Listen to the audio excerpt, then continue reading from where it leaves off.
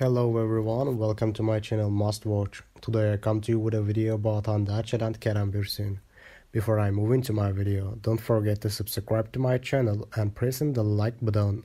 Thank you and let's get into my video.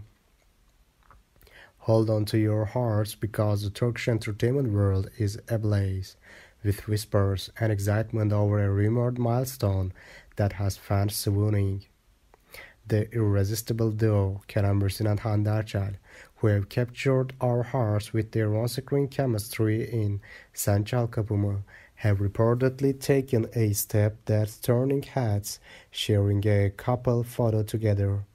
Fans are now brimming with anticipation and emotions at the possibility of a blossoming romance between the charismatic pair.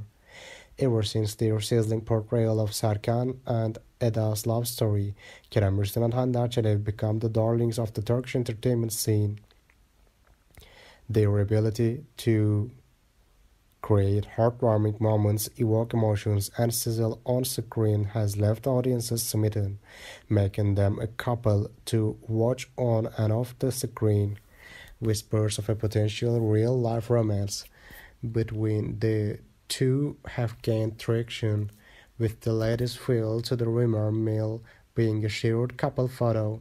While the details surrounding this photo remain shrouded in secrecy, the very idea of these two captivating stars sharing a glimpse of their connection in a romantic setting has sent fans into a wild wind of excitement. Social media platforms have exploded with discussions, reactions, and heartwarming messages of support. However, it's essential to approach such rumors with sensitivity and respect for the individuals involved. Kerem Bürsin and Hande Erçel are not just talented actors but also private individuals who deserve their personal space and boundaries.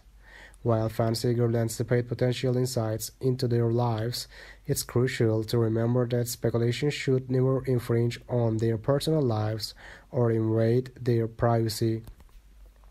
Thank you very much for watching my video. See you in the next one. Take care and goodbye.